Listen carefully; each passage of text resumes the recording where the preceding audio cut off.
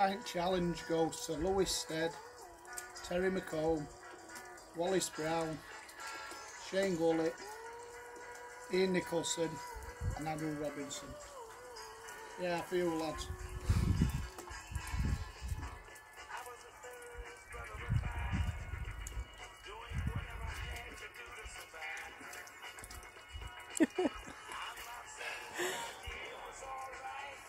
Lovely. Yeah. How long was that? I don't know. I didn't do it. Hey? Hey, baby.